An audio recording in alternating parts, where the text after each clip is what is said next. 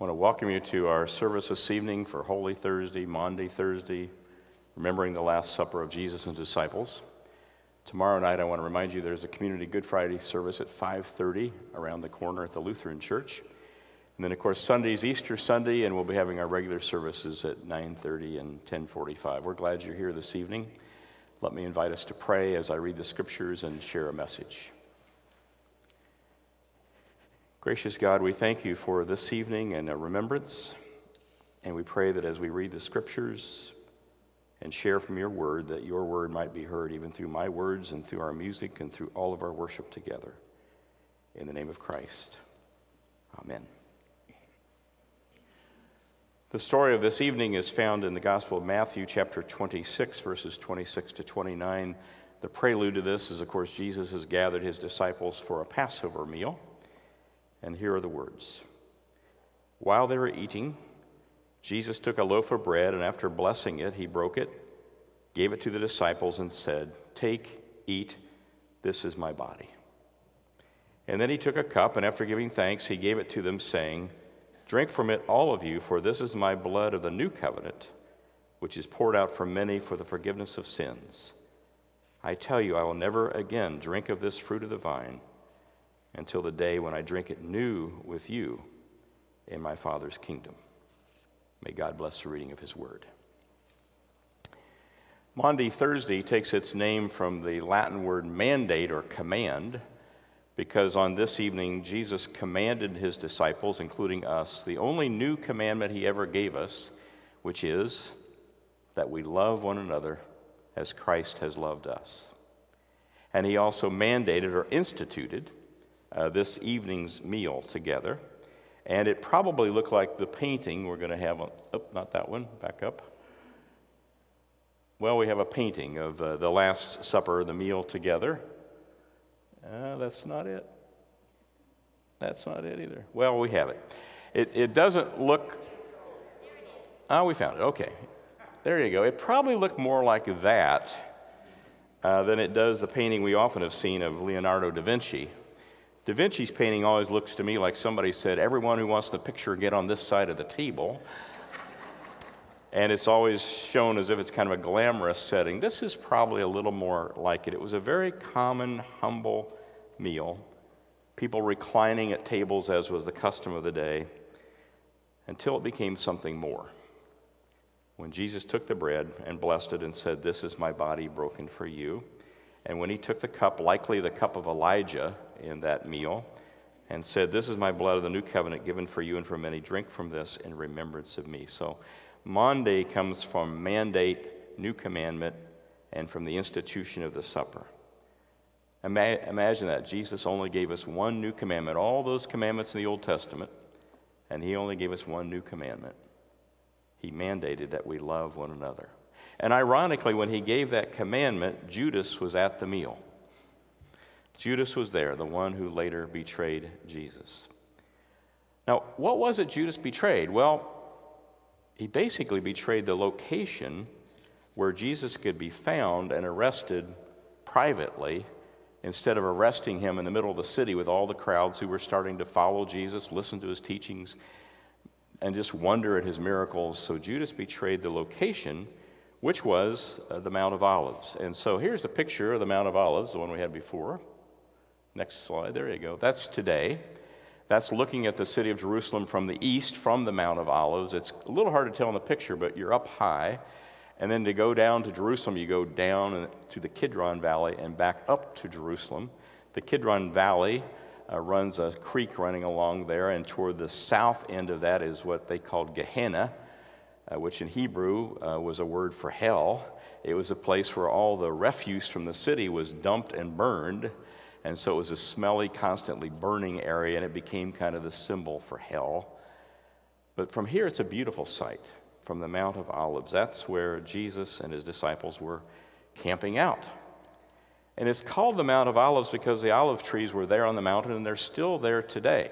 Uh, if you carbon date, which they have, some of these trees, they date back 2,500 years. They date back before the time of Jesus. So if you go and visit the Garden of Gethsemane on the Mount of Olives, some of the trees that are there would have been there to witness the events of this evening when Jesus was betrayed. Gethsemane means it's a Hebrew word for olive press. So, where Jesus and his disciples went in the evening, they went up on the Mount of Olives across from Jerusalem. They probably camped out, being people with little no me, or no means for hotels or rooms. And it was there that Judas betrayed his location. So, think about this evening as a time when Jesus prayed and was betrayed. And here's the thing Judas was only the first betrayer. we know that later that evening, before the rooster crowed in the next morning, Simon Peter, his maybe closest, most powerful disciple, Simon Peter, denied three times that he even knew Jesus. So Judas betrayed Jesus' location. Simon denied he knew him. But if you read Mark 14 50, that little verse kind of tucked away in the Gospels, it says, after Jesus' arrest, all the disciples, all the disciples forsook him and fled.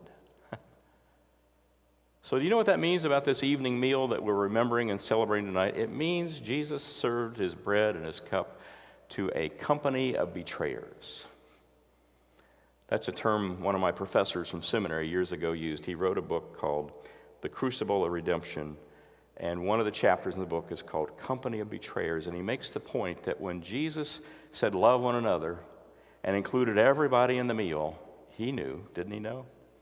That every one of them would eventually run away and deny, betray him. And so, Dr. Marney says in his book, that means we are in good company tonight because we all let him down. We all fall short.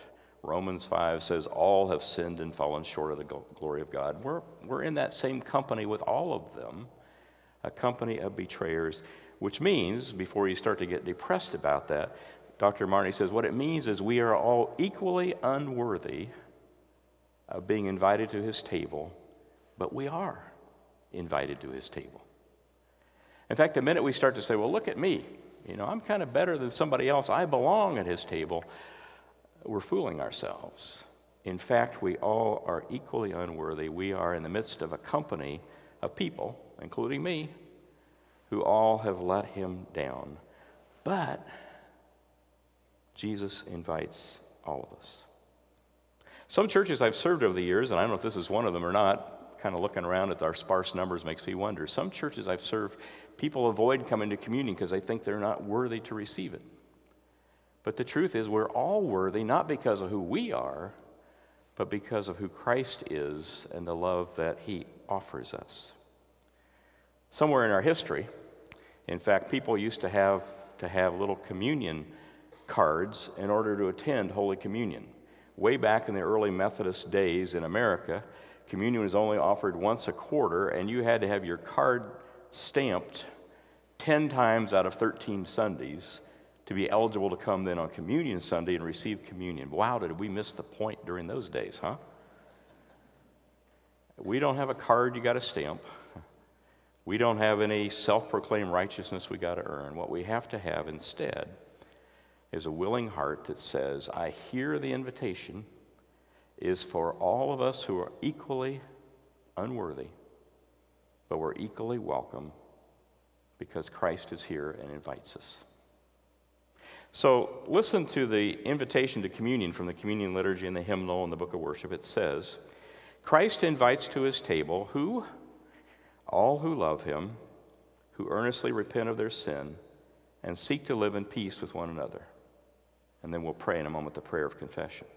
He invites to his table not everybody who's perfect, not everybody who's been to church enough Sundays this quarter, not everybody who feels kind of self righteous by, by contrast, those who know we need it. We're the ones who are welcome. And who earnestly repent. All repent means is turning around. It means I want to turn my life back toward God because I've gotten off track at times. And who seek, it's seek to live in peace.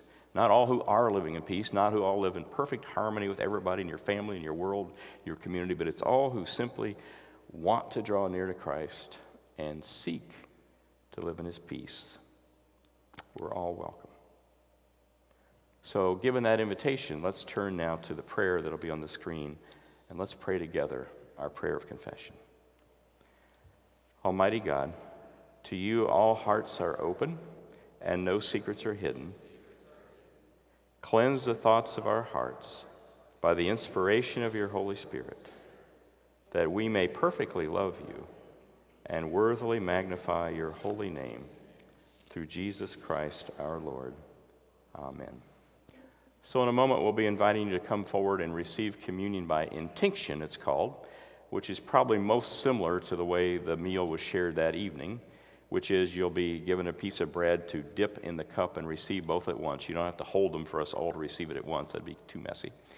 Receive it together. If after that you want to kneel in prayer, you're welcome to. Return to your pews and pray there. I'm going to invite you, I think, everybody to come down the center aisle, and even the cloaks, folks over there. Come over and come down the center aisle. We'll have stations here, including a gluten free station. The choir will come down kind of behind the servers and receive from behind them. And this is a night to remember three things.